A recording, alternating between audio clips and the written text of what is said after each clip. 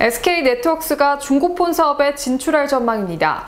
최근 관련 업계에 따르면 SK 네트워크스는 중고폰 전문 업체 금강 시스템즈의 지분을 약 20% 인수한 것으로 전해집니다. 일부 지분 인수가 아닌 기간을 두고 전체 지분을 인수할 것으로 알려졌습니다.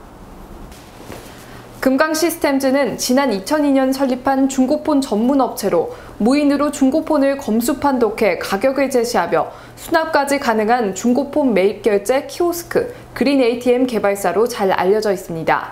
SK 네트워크스는 그린 ATM의 기술적 가치에 큰 매력을 느끼고 인수 결정을 내렸다는 후문입니다. 현재 SK 네트워크스는 SK텔레콤 단말기 도매 유통 사업을 담당하고 있습니다. 이번 중고폰 사업은 단말기 유통과 결합해 중고시장까지 아우르는 전반적인 유통시장에 개입해서 시너지를 창출할 수 있다는 계산입니다. 현재 국내 유통 중고폰은 연간 천만 대로 약 1조 원의 시장 규모로 보고 있습니다.